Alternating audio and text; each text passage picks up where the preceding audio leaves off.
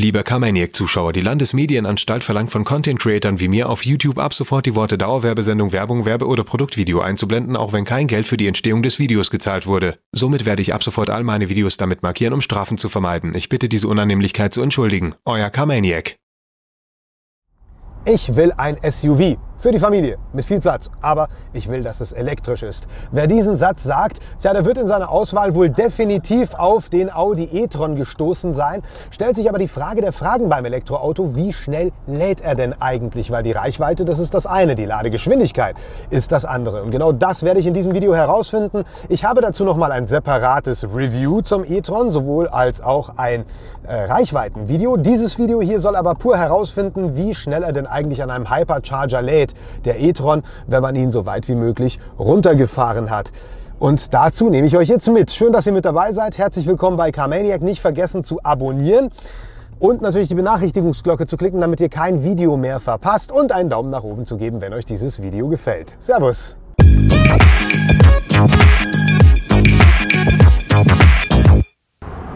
Hoppala! Es ist ja mitten in der Nacht.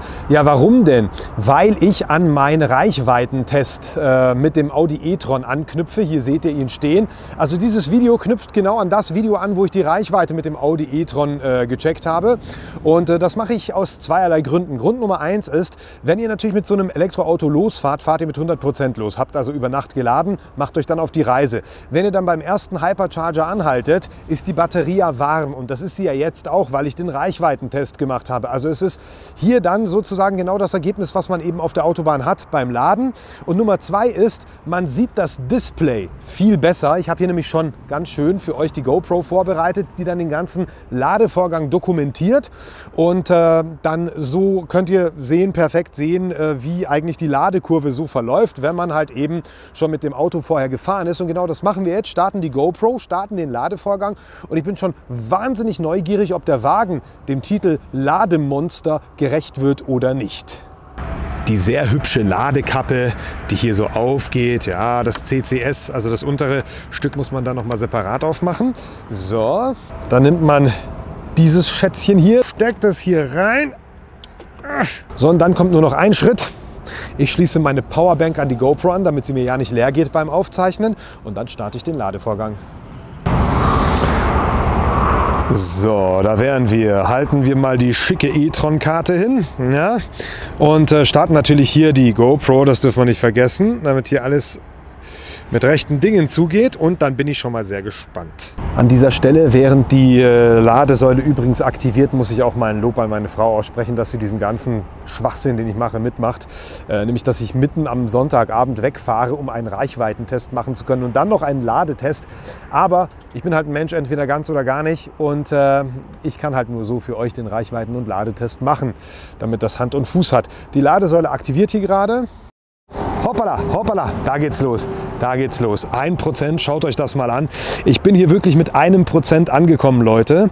Das Reichweitenvideo dazu solltet ihr dann unbedingt sehen, damit ihr wirklich sehen könnt, wie weit ich mit dem Auto gekommen bin. Ich bin konstant mit 130 gefahren, laut GPS übrigens, nicht laut Tacho. Und schaut euch das an, wie sich das aufbaut. Ja, Himmel, Herrgott. 136 kW direkt bei 2%, ein Traum vieler anderer Elektroautos. Ich habe ja den e-tron schon mal geladen hier, habe schon mal ein Ladevideo für euch aufgenommen, habe hier wirklich über eine Stunde gestanden und sowas und habe mir gedacht, ich mache es jetzt einfach nochmal, damit man das Display besser sieht und damit der Wagen wirklich komplett eine vorgewärmte Batterie hat. Und äh, ich kann schon mal eines verraten, das Ergebnis war Wahnsinn. Ja? Äh, wie Wahnsinn, das sehen wir jetzt hier. Vor allem bin ich aber auch neugierig, ob das abweicht oder ob wir beim wirklich selben Ergebnis rauskommen. Wir sind jetzt übrigens nach zwei Minuten, nee, nach einer Minute so weit wie das, was wir über Schuko zu Hause laden können, bei 2,3 kWh. Ja, ist schon echt extrem. Ja, das macht der e-tron schon richtig gut. Weil das hier ja ein Ladevideo ist, möchte ich ähm, mal so ein paar Sachen, weil wir jetzt Zeit haben, thematisieren über den e-tron, die ich ziemlich cool finde, also rein von der Funktionalität her.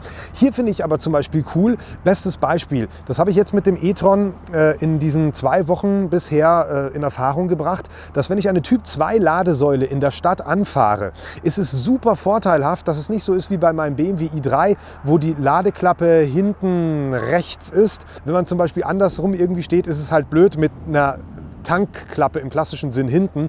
Hier beim e-tron hat man den Vorteil, dass man, auch wenn das Bild ein bisschen dunkel ist jetzt, ähm, ihr habt ja gesehen, ich habe ihn auf der anderen Seite angeschlossen. Wir haben hier aber auch nochmal eine Ladeklappe. Das ist ein reiner Typ 2 Anschluss. Auf der anderen Seite haben wir Typ 2 wahlweise oder halt aber auch CCS, wenn ihr den unteren Teil aufklappt, was ich euch gerade schon gezeigt hatte. Und das ist, finde ich, super. Also das ist sehr, sehr gut durchdacht und ist praktisch, dass man das eben auf beiden Seiten hat und nicht die Kabel immer da über die Motorhaube oder so zerren muss. Finde ich schon echt praktisch. Allgemein ist sehr viel, sehr gut durchdacht an diesem Auto, muss ich schon echt sagen. Der Verbrauch nun denn der ist jetzt nicht so brillierend, das muss man schon sagen, aber guckt einfach mal mein Reichweitenvideo. Ihr findet äh, den Link oben rechts oder unten in der Beschreibungsbox, wenn das Video noch nicht online sein sollte. So, wir sind bei 10% jetzt und bei 140 kW Ladeleistung und laden seit 3 Minuten 30 und haben schon 7,9 kWh. Aber schaut auch mal, wie krass schnell diese ähm, bereits geladene Energieanzeige hochschnellt. Wäre doch ein Traum, wenn das zu Hause auch so ginge, oder? Könnte keiner mehr labern hier mit Elektroauto lange laden. Ich möchte aber auch mal gerne mit euch jetzt den Wert innen im Auto vergleichen, was da das Auto anzeigt und was er vor allem prognostiziert für die noch äh, ja, zu verweilende Zeit hier an der Ladesäule. Und das machen wir jetzt mal. So, Dele, da sehen wir es. 13 Prozent sind wir jetzt. Wir laden mit 139 kW. Weicht immer leicht von dem ab, was die Säule eigentlich zeigt. Jetzt geht mir natürlich das Bild weg. Moment. So, was haben wir denn da? Also 139 kW, 591 Kilometer pro Stunde übrigens, die wir quasi laden. Ist ein Orientierungswert. Noch 43 Minuten, sagt er angeblich. Das ändert sich dann aber. Ob nach oben oder unten, verrate ich euch jetzt noch nicht. 39 Kilometer, 40 Kilometer haben wir schon unter 10 Minuten geladen. Das ist schon echt ein super, super krasser Wert. Ne? Hier sehen wir es auch nochmal. Hier gibt es den Range Mode, den ich übrigens nicht aktiviert habe für diesen Reichweitentest. Ja. Hier könnt ihr dann übrigens auch, das sage ich aber noch mal im Review dazu, aber wir haben ja jetzt gerade Zeit, hier könnt ihr bei diesem Ursymbol äh, Timer stellen für das Vorklimatisieren des Fahrzeugs. Also wenn ihr dann morgens wegfahren wollt mit einem vortemperierten Auto, ist das natürlich schon super. Da ist die Batterie dann auch vortemperiert, sowie auch natürlich der Innenraum des Fahrzeugs. Ich habe hier das schon ausprobiert, funktioniert sehr gut, ist natürlich cool mit diesen Timern.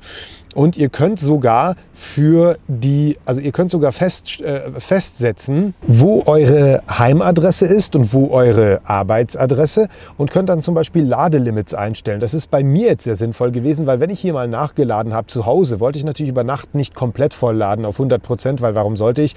Ich habe ja jetzt zum äh, e-tron auch so eine Ladekarte, mit der ich laden kann und da habe ich eingestellt nur auf 80 Prozent bitte.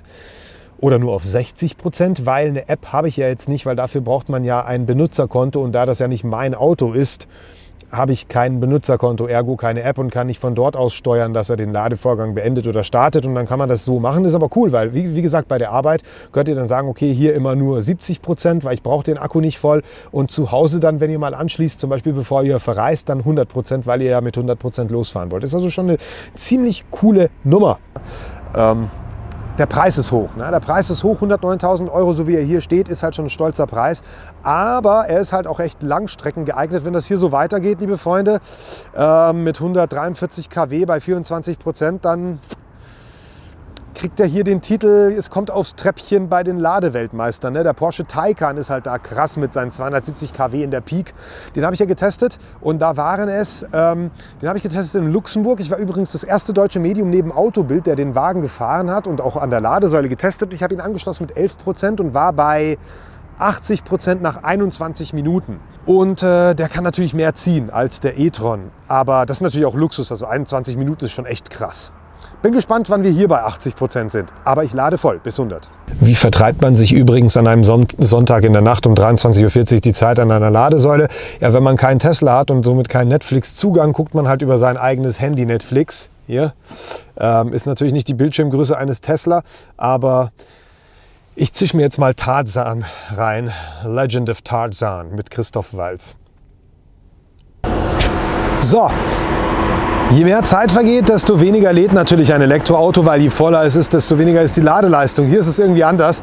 Er hat jetzt bis 79 Prozent 150 kW geladen. Jetzt baut er ein bisschen ab auf 143 kW.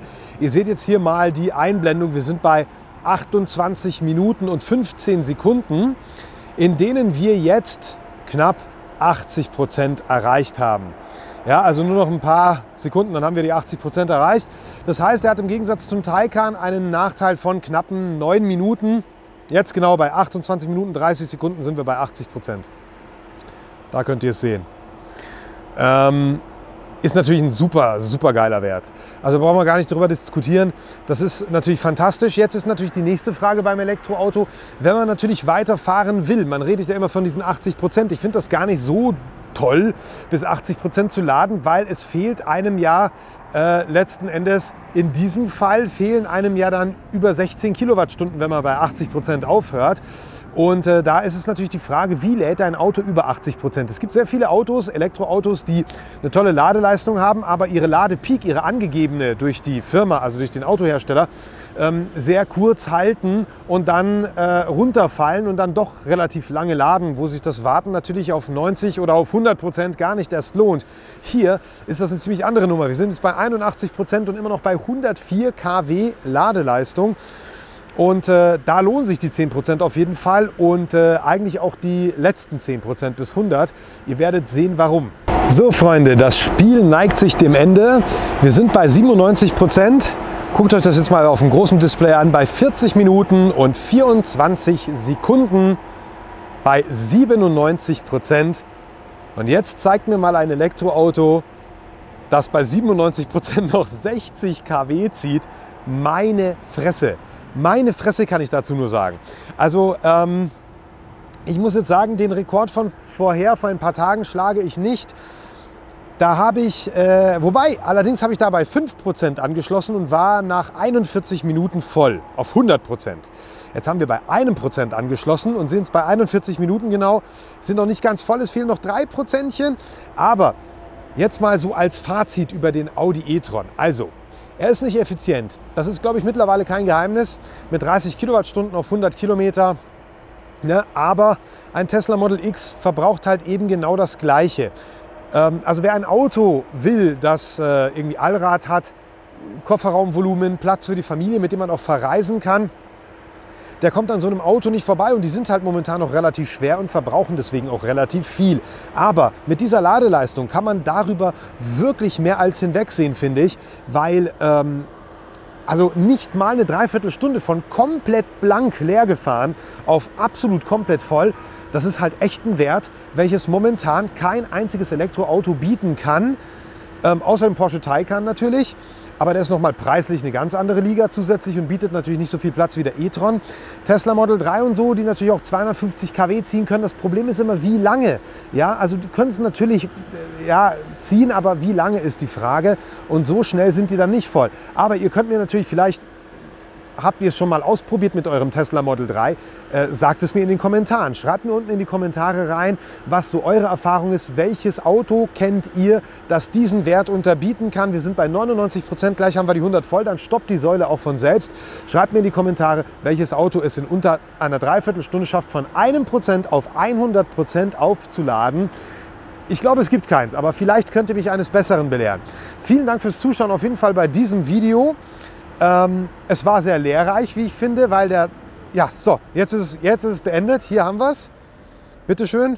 Es ist sehr lehrreich gewesen, weil ich gesehen habe, dass der e-tron das unter wirklich allen Umständen kann. Nicht nur das letzte Mal zufällig, sondern auch jetzt. Wir sehen es hier. Hier ist der Beweis. Hier seht ihr es nochmal über diese Kamera auch.